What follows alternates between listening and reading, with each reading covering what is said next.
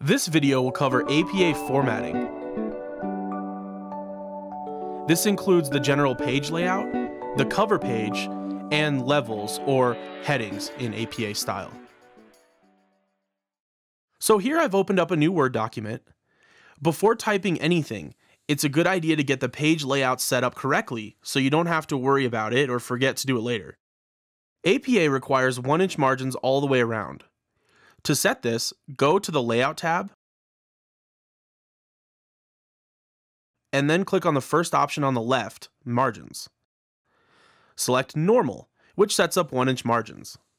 If you don't have that option for some reason, you can do this manually by going to Custom Margins at the bottom of the menu. Okay, so the next step is spacing. In APA, as with most formal styles, all documents should be double spaced. To do this, find the Paragraph drop down menu and click the small box in the right corner to open the paragraph settings. Now, what we're interested in is under the spacing section, the third one down. Word is generally set to multiple spacing by default, so we need to change that to double. But that's not all. Notice how there's an after box to the left that says 8 PT. Some computers may have a 10 PT there as well. Either way, what that's doing is adding extra space after every line break. If you've ever noticed that when you hit enter to start a paragraph that there's extra space between the paragraphs, this is why. And we don't want that. So just make this 0 and then click OK. The last layout setting to adjust before you get rolling on the cover page is the font. Word is set to Calibri size 11 by default, but Times New Roman is the preferred font in APA. So find Times New Roman. You can just type the name out in uh, the box if you want to save a few seconds. And the size should be set to 12.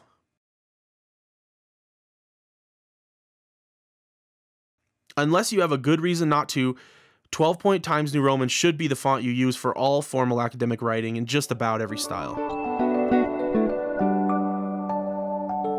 So that's it for the formatting section. Now we're ready to put together the cover page. The place to start is with the page number and running head that go in the header. To get into the header, all you have to do is double click at the top of the page. Once you're there, you'll notice that the menu bar now consists of header and footer tools.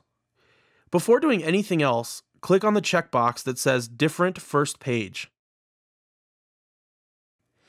There are a couple of things with the cover page that often throw students for a loop when they do this for the first time, and this is one of them. Whatever you put in the header will show up on every page. But in APA, the header on the cover page is different from the header on the rest of the paper. So clicking that box allows you to put a header on the cover page that won't show up on each of your following pages. Once you've clicked different first page, you're now ready to add in the page number. There's a function built into Word that will automatically number pages for you. You have to use this to number your pages because remember, anything you type in the header shows up on every page. So if you type a 1 manually, then a 1 will show up on every page.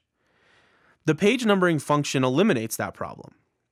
So to insert page numbering function, click on the page number icon which is the third option from the left. When you click on it, you'll get several options for where to place the page numbers. In APA, you'll put the page number on the top right. So roll your mouse to top of page and then select the third option down, which shows the number on the top right side of the page. When you do that, Word automatically adds the page number to that spot and puts your cursor right next to it so you can start typing. The second part of the header in APA is what's called the running head. This is basically just an abbreviated form of the title of your paper, and it will run along the top left corner of each page. On the cover page, you need to include the words running head with a capital R, a space, and then a lowercase h, followed by a colon. Then, in all capital letters, put an abbreviated form of your paper's title.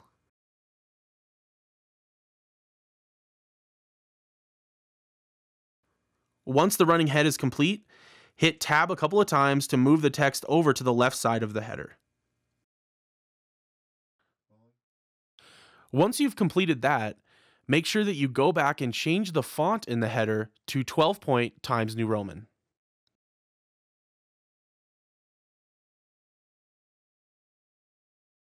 Okay, so the final part of the cover page is the title block, which includes the title of the paper, your name, and the college you're attending.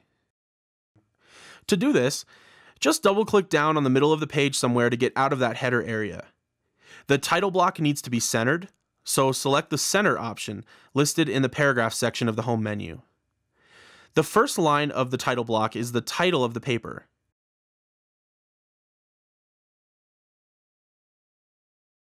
The second line is your name.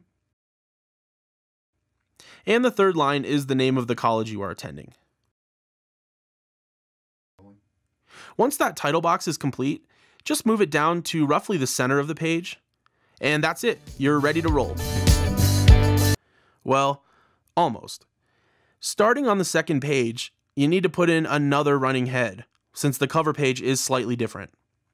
In the header at the top of the second page, repeat exactly what you did on the cover page. The only difference is that instead of typing the words running head, you just put the abbreviated title in all capital letters.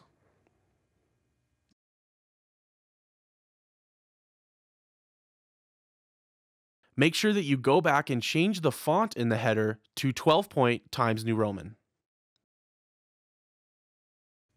So if you want to make sure that the heading is right, just go and look at the cover page and make sure that that hasn't changed. And then hit enter several times to move to a third page. If the header just has an abbreviated title and a 3 on the top right, then you're all good. So there's one last thing you have to do before you start writing your actual content. In the main text area, you need to restate your full title and center it.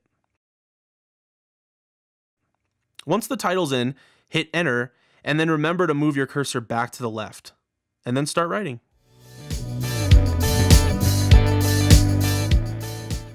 Another quick note. Formal APA format dictates the inclusion of an abstract between the cover page and the first page of content. An abstract is simply a summary of the paper. Um, many instructors do not require an abstract, but if your assignment does call for one, just put a page between the cover page and the beginning of the essay, and then include a one paragraph summary of your paper.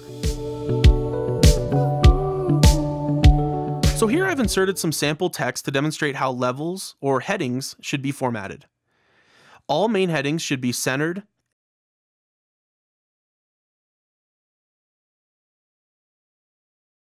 and bolded.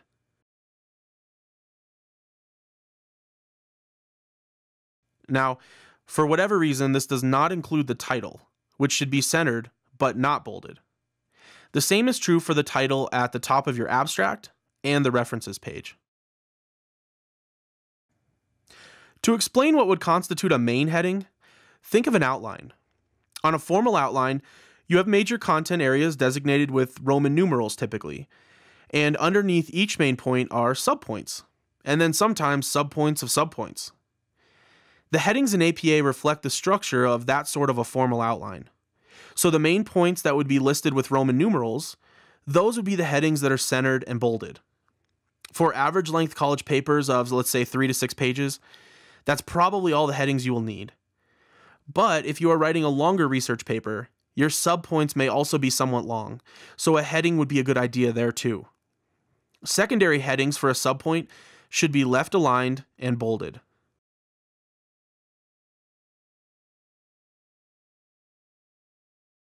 There are several more headings below that, even to distinguish subpoints of subpoints of subpoints. But really, unless you're writing a dissertation, you shouldn't worry about anything beyond those first two types of headings. And in fact, for most papers, just one level of headings that are centered and bolded will be fine. That should get you on your way to writing a polished APA paper. If you haven't already, check out the rest of the videos in the APA e-learning series brought to you by the Pikes Peak Community College Writing Center. Happy writing!